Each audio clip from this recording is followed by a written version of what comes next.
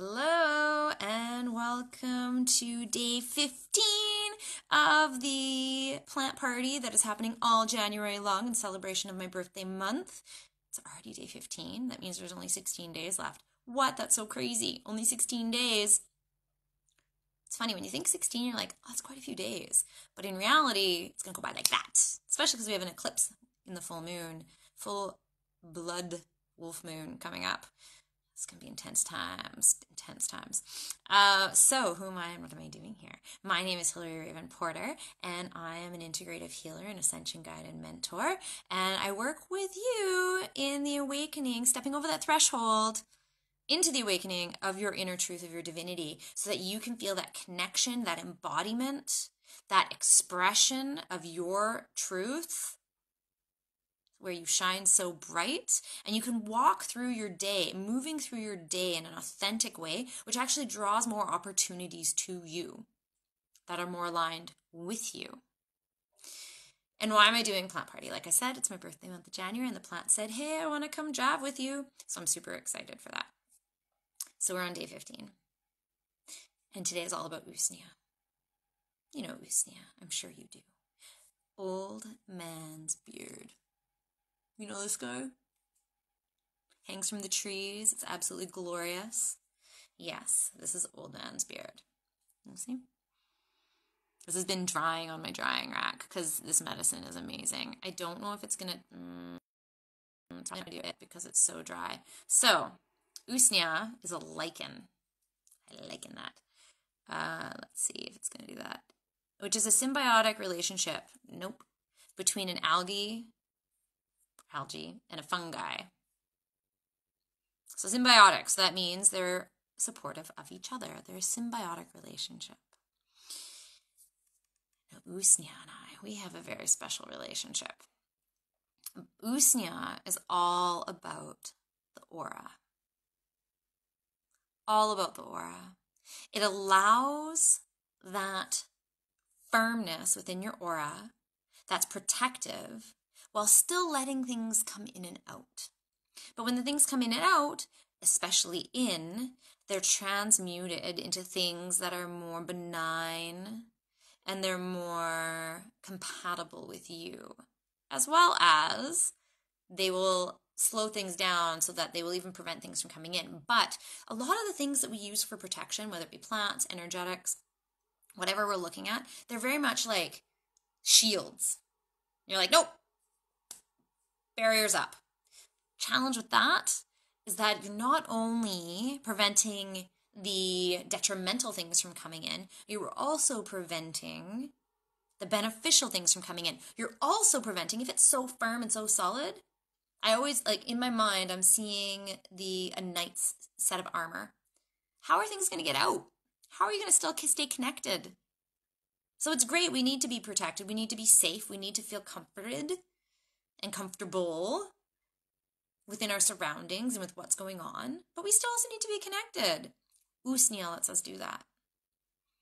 The one thing that I've found that I absolutely I, I made so I made two tinctures with this lovely plant. I made multiple, but these two tinctures. So sometimes the odor, so when you pull usnea apart, you know it's usnea when you grab it. So that's what I was trying to do, but this stuff it uh, works when it's moist. I find it doesn't work when it's dried out. But what you would do is you would slowly, yeah, it's not happen. You pull this very, very slowly, and there'll be this white thin thread in the middle, and then the outside coating. Sometimes the inner thread is really thick, and the outer coating is really thin. Sometimes the outer coating is really thick, and the inner coating is really thin. The inner cord is really thin. So I made a couple of tinctures, being like, what's going to be the difference between these guys? And it was amazing. So the thick ones with the thicker coating allow for like a thicker barrier.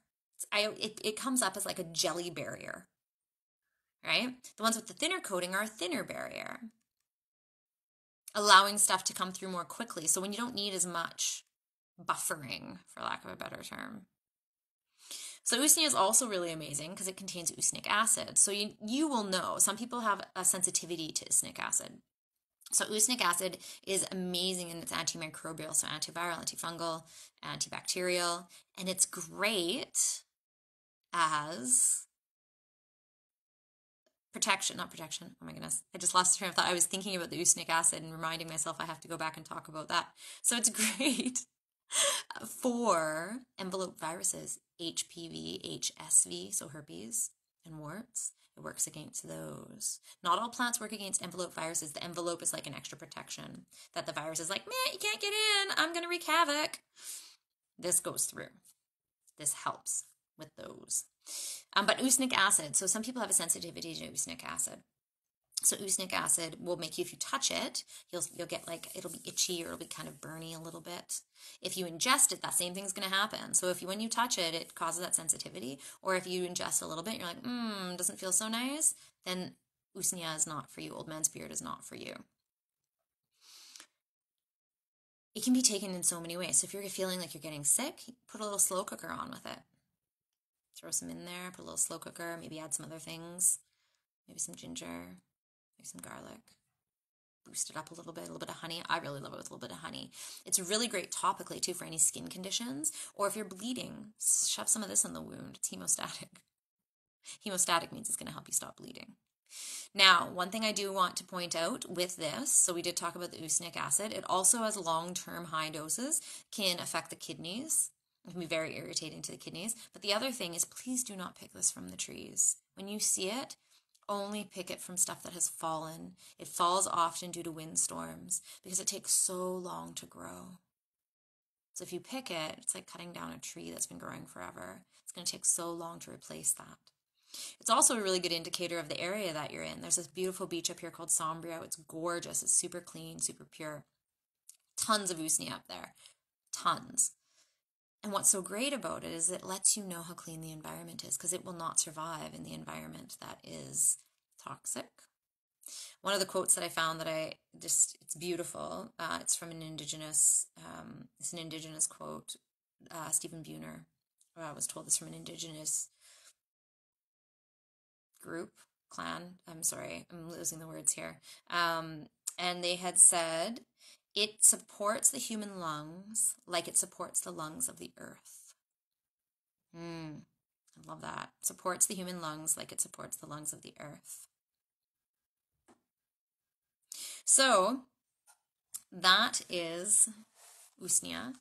That is one of my favorite loves, especially to do with aura manipulation. If you use this with the aura manipulation technique that you may have heard me talking about before, then you are you are set you are good to go with your protection of your aura but while still being able to be connected to your surroundings okay so that is the plant party for today. Once again, I will be posting these videos up onto YouTube. You can follow along there at Hilary Hraefn Porter, H R A E F N.